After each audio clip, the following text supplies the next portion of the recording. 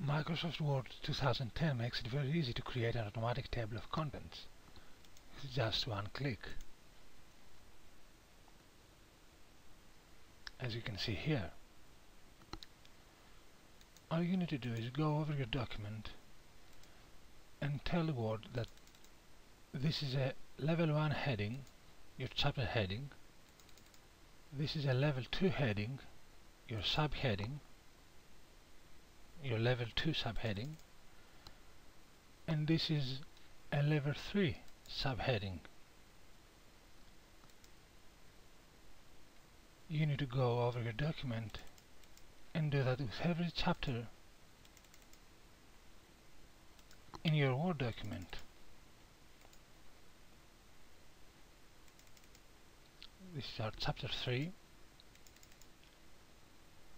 there are different levels of headings.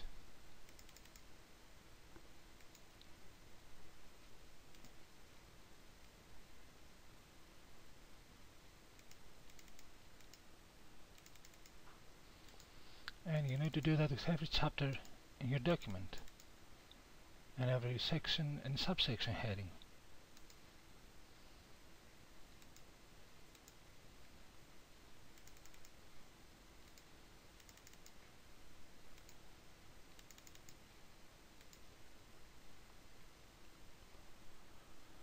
Now go to the page where you would like to insert the automatic table of contents. And from the References tab the Table of Contents section click on Table of Contents. And you can choose from one of two automatic table of contents formats. You can always change without a problem the format of your headings you don't have to accept the default one. So you can go to the home tab and change the font color the font and the size of the font to your preferred ones.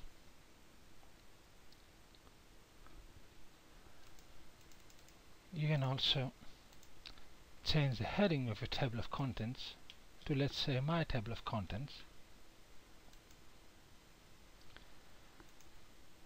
And if you would like to change the heading of your chapter to let's say let's change chapter 1 to my chapter 1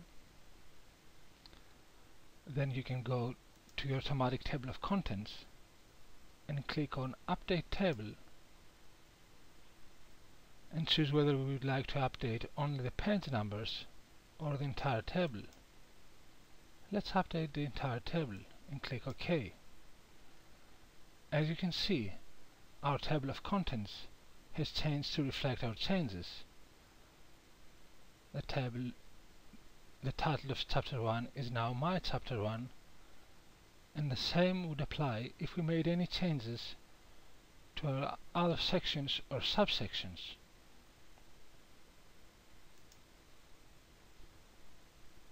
That's it. Thanks for watching. Let me know if you have any questions in the comments.